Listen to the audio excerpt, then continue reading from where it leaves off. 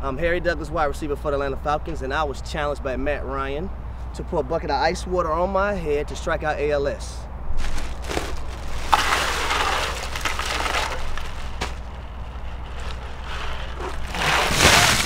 Ah.